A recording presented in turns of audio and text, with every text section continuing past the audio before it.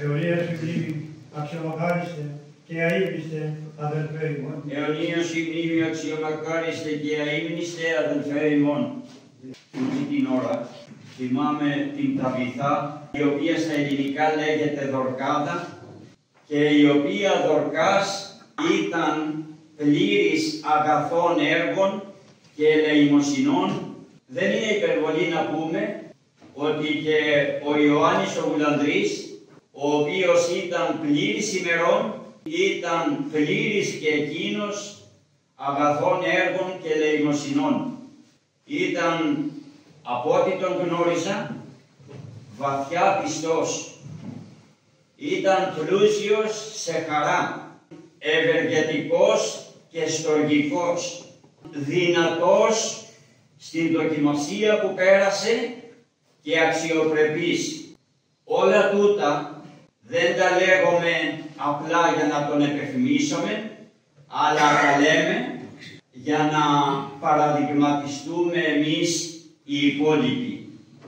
Τούτη την ώρα θέλω να εκφράσω επιπλέον τα ειλικρινή μου συλληπιτήρια και μου προσωπικός και των λοιπών μελών του Εκκλησιαστικού Συμβουλίου προς την οικογένεια του Θανόντος να τους βεβαιώσουμε ότι ο Γιάννης ο Γουλανδρής θα ζει εις τον αιώνα.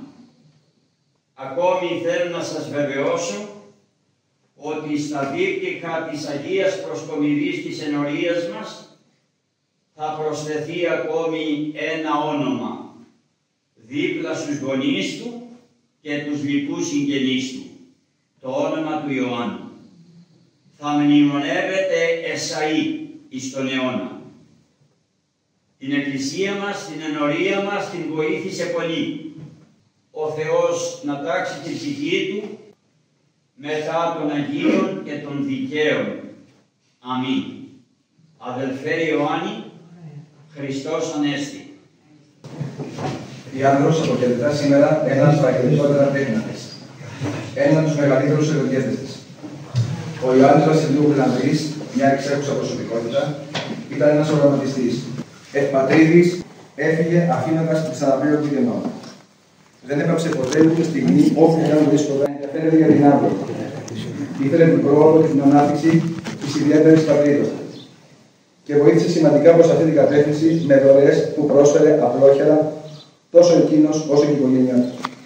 Η άνδρος τον αποχαιρετάει την ομονούσα. Α είναι αυτό το χώμα της πατρίδα τη που έχουν δεχτεί.